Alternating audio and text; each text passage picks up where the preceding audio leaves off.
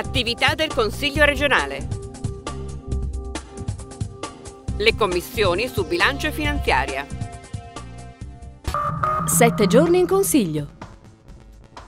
La conferenza dei capigruppo ha definito, dopo la sentenza del TAR che ha annullato l'esito del voto regionale del 2010, il calendario dei lavori e delle attività.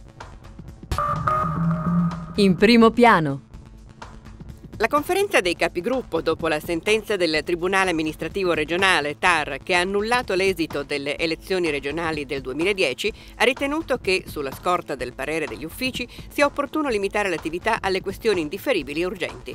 Pertanto, mentre si è sospesa la trattazione della riforma del CSI e della legge elettorale, proseguono i lavori per l'approvazione del bilancio di previsione, considerata la scadenza del 31 gennaio dell'esercizio provvisorio. La Commissione Bilancio si è riunita quotidianamente per affrontare sia il nodo del pacchetto finanziario, poiché si avvicina la scadenza dell'esercizio provvisorio il 31 gennaio, sia per raccogliere le osservazioni del Collegio dei Revisori.